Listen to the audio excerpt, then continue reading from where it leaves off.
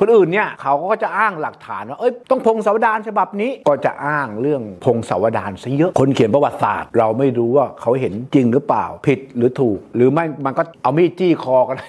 หนังเรื่องผมลิขิตเขาก็พูดถึงหลวงสรศักดิ์หรือในเดือในเดือคนเนี้ยเขาชีวิตเขามีแบบสีสันดีเนาะพระสุริเยนทราธิบดี มีความสามารถในการที่จับช้างบังคับช้างไล่พระเวทสามารถทำให้ช้างตกมันตัวนั้นสงบแล้วก็บังคับได้ แล้วก็ไปเสพสังวาสไปมีอะไรกับธิดาเจ้าเมืองเชียงใหม่ คนนุยาก็เหยียดคนรอบๆ ตัวเองเนี่ยเป็นลาวอะแหมจะให้ทั้งทีก็